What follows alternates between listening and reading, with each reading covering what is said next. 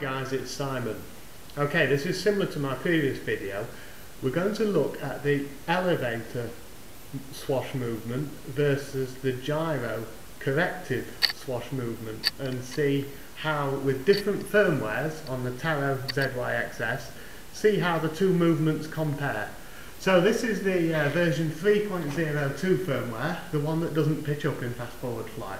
So let's look at the uh, elevator movement. Okay, and now let's rotate the helicopter along its elevator axis and look at the force movement. And it looks to me like we've got comparable movement. Okay, now let's go through the other firmwares. Okay, this is version 4, so elevator movement.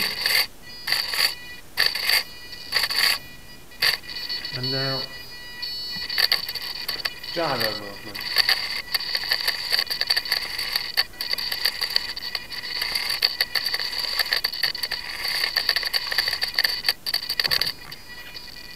I'm back.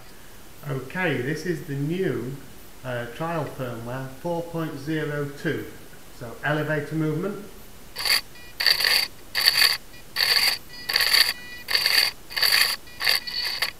Okay, now let's try swash movement, gyro movement.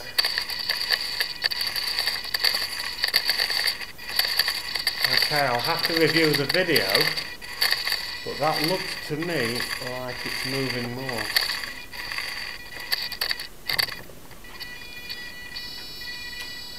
Thanks for watching guys.